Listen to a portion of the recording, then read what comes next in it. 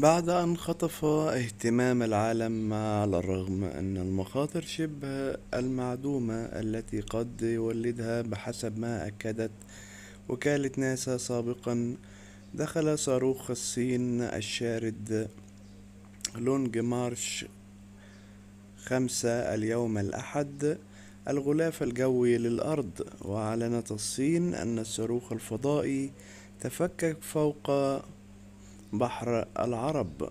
بعد دخول الغلاف الجوي بحسب ما نقل التلفزيون الرسمي. أتى ذلك بعد أن أشار مكتب هندسة الفضاء المأهولة الصيني بوقت سابق في منشور على حساباته بمواقع التواصل الاجتماعي أن الموقع المتوقع لحطام الصاروخ الشارد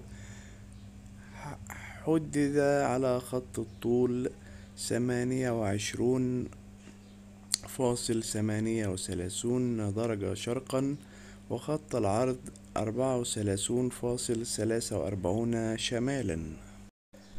كما أشارت إحداثيات المكتب المذكور إلى أن بقاياه ستقع في موقع ما بالبحر المتوسط فيما أوضحت مواقع أخرى لتتبع حركته إلى أنه سيسقط قبالة تقاطع الساحلين المصري والليبي.